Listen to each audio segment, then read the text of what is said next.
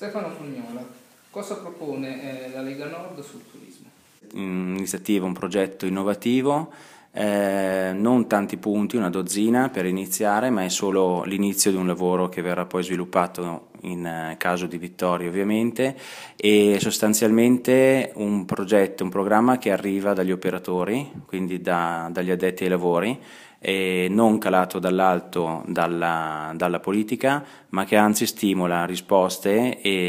dalla, alla politica in modo da trovare anche un collante, cosa che forse è sempre mancata, tra appunto il mondo istituzionale politico e il, il settore, gli operatori. Senatore Centinaio, allora, la Lega al governo vuole rivendicare il Ministero del Turismo, quindi. Sì, la Lega al Governo rivendica il Ministero del Turismo perché riteniamo che sia necessario, visto l'importanza che ricopre il nostro settore, sia necessario che ci sia un uh, Ministero ad hoc, un Ministero che possa essere da collante con tutte le regioni italiane, con tutti i privati, con tutti gli operatori e visto e considerato che siamo un settore che occupa circa il 12% del PIL. Fondamentale un Ministero che porti avanti tutte quelle proposte che servono a rilanciare il nostro settore dopo anni di immobilismo e dopo anni anni di dilettanti allo sbaraglio appunto a gestire questo settore. Vogliamo rilanciarlo con eh, la lotta all'abusivismo, vogliamo rilanciarlo per esempio con l'eliminazione della tassa di soggiorno, vogliamo lanciarlo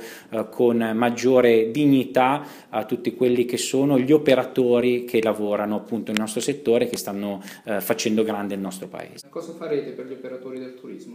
Eh, beh, innanzitutto eh, la, una defiscalizzazione, quindi una riduzione delle tasse per noi è fondamentale perché il problema che ci è stato evidenziato appunto dagli operatori è eh, le troppe tasse che ci sono nel nostro paese. Eh, una cosa che è molto importante, come dicevo, è la lotta all'abusivismo. Oggi come oggi eh, più del 40% del settore del turismo passa attraverso imprenditori o finti imprenditori che eh, si inventano imprenditori del turismo senza pagare le tasse, di conseguenza meno tasse ma che le debbano pagare tutti. Eh, e poi anche una maggiore professionalità, l'istituzione di eh, istituti dedicati al turismo di, in cui ci siano persone sempre più competenti, sempre più professionali che accolgano appunto i turisti che vengono nel nostro paese oppure i turisti italiani che appunto decidono di stare, di stare in Italia.